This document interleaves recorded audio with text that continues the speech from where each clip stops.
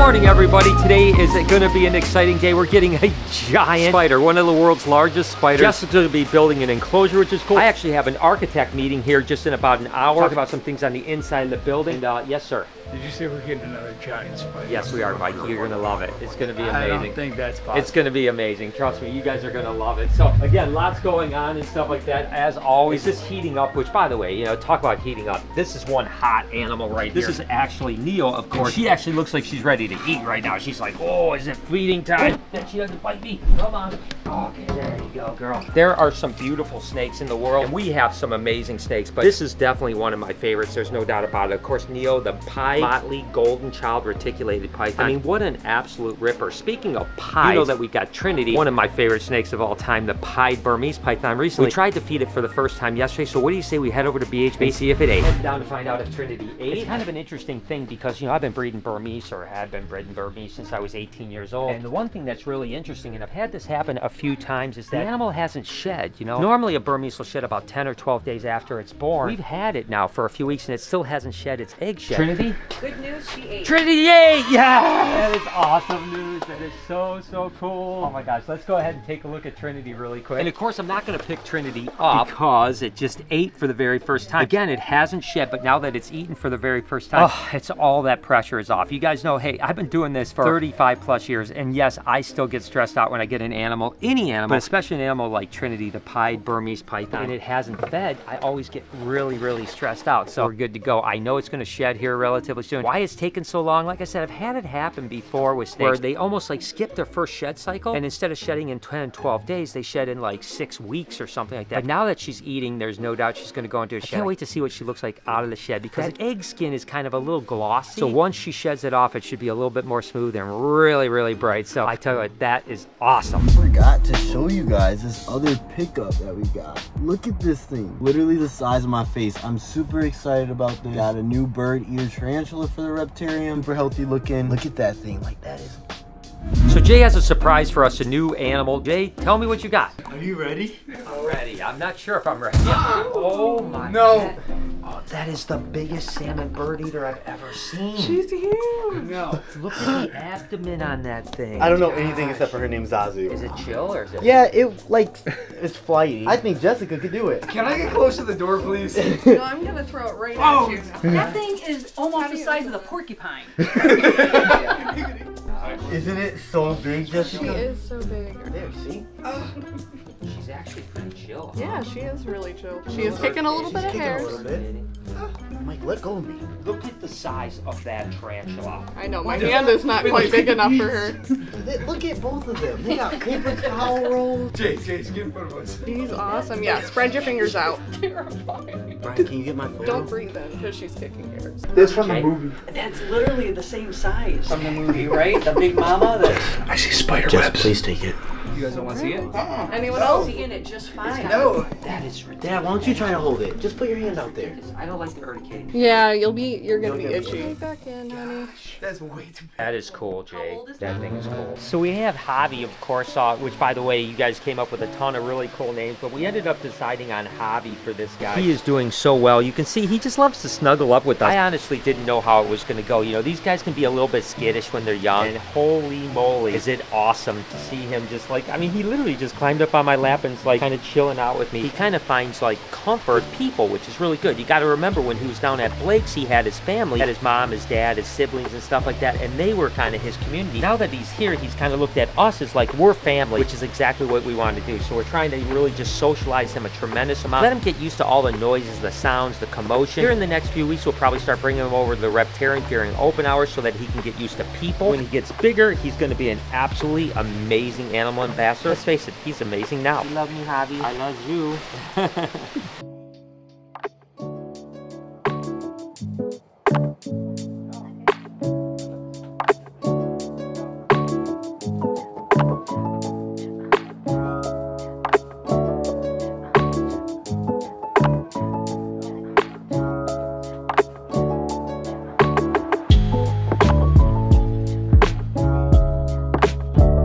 As you guys know, we've been doing a lot of work on the outside of the building, the facade of the building to make it look absolutely incredible. As far as the inside, we mainly have done demo work so far. So today, I'm meeting with my architects and my general contractors, and we're actually going over things like trenching and foundations and how we can start working on building up the inside, getting ready for exhibits to go in, hopefully within the next three to four weeks. So the next thing we have to do here is all the trenching, right? We got tons of plumbing, we got tons of drains. Of course, we have the filtration that we have to have in the ground. We also have foundation for the tanks themselves. So there's gonna be a ton of cement work that has to be done here in the next few weeks. But first, we have to get the drawings from the architect so I can go to the city and get them approved because you can't do the work until it's approved by the city. Trusses are basically all done now. They just have a little bit left, but it looks so cool. I mean, think when you walk through the door, this is gonna be what you see. I mean, it's gonna be painted, but the ceiling's gonna be that high. It's gonna be absolutely ridiculous. I can't wait to see it done. Kinda cool. And again, we're gonna be standing right now. We're standing in the beginning of the Reptarium right now. Basically, Bowser's Pond's gonna be right over there. This will be a turtle pond standing right next to me, and you'll walk through here, which is really cool. And of course, we have the pond getting going too. So we have this retaining wall right here that basically is just gonna hold all the material falling back this way because obviously the windows are gonna be right here, right? And then of course the waterfall will be up here, and we're basically using some universal rock to build up here so that it carries the theme of the universal rock from inside to outside as well. So the actual waterfall will be a universal rock block, six foot tall, coming down here, coming into here, and into the pond area. So uh, again, moving along.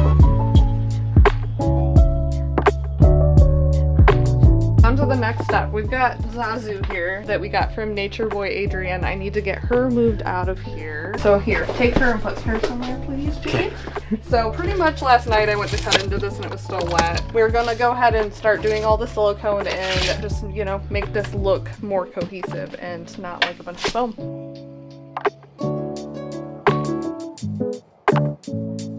To say that I'm obsessed with Sid and Hobby, the porcupine and the capybara would be an understatement. I tell you, I couldn't even sleep last night. I couldn't wait to get into work today to just see how these guys are doing. I mean, look at how cute they are. And they're both settling in so well. They're eating, they're going to the bathroom, they're chilling out. They love to hang out with people. I mean, they are going to be such great animal ambassadors. That was the whole thing about getting these guys now, really get them docile, right? We wanted to get as young as we possibly could so that they could bond with us. Really, really good around socializing with people. So we have a handful of months to mess with these guys to get them super, super tame. But I mean, how cool is it going to be to come and interact with a giant porcupine or interact with a capybara or whatever other mammals? Because we've got a couple other things coming here in the near future too. So stay tuned for that. I tell you what, this guy is crazy. And Sid, I mean, you're a rock star. So that part's all done. Now we just have to let everything dry and tomorrow we'll put some plants in here. Dude, it looks awesome, Jess. Good job. So I like the ledges and stuff that are in here. Now, do you think she'll use those, climb up a little bit? I know she's a big She spider. She is pretty big, but I think she'll be able to climb up a little bit. Oh, that'd be cool. Be super high off the ground because you gotta remember Oh, the some ground's gonna be like right here. Along with everything else that's going on today, we actually have the local news, Detroit Free Press, that's out doing a little bit of an article and a photo shoot, so they're just tagging along. So just add another thing to my day.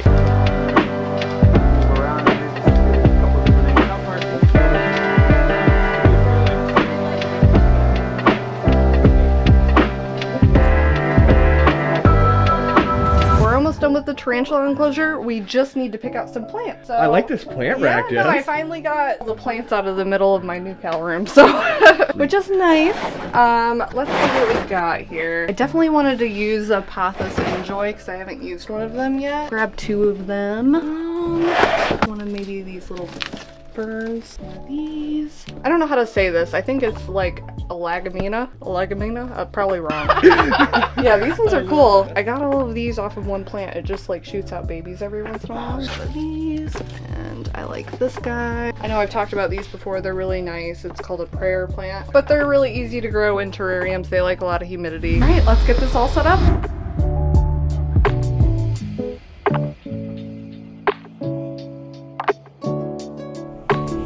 Been a minute since I've showed you my buddy Elvis. You know, he's an absolutely incredible animal. You guys know that I love him to death. And he's just out running around a little bit, getting his out of the cage time. He loves this right here. Usually when it's sunny, actually in the afternoons, the sun comes right through his door. He comes over and he actually sunbathes here. But unfortunately, uh, it's a rainy day today, so he's not getting any sun. But as a creature of habit, he still comes to the door because he likes to do that. Plus, he actually likes to look outside as well. I like filming with Jessica, honestly. You know, it's down to the point. We should maybe start a Jessica Like and our Je- side channel or Yeah, something? yeah, but still in this channel, but our own side channel within Yeah. this. Jessica and Jay. See, I'm- she's, all this, she's literally doing it already. She's like, Jay, shut up. Can we just the film this transfer." piece? Okay. Okay, grab the amethyst out of there. Oh, you're putting that in? Yeah. Yeah, we have to. It relieves stress.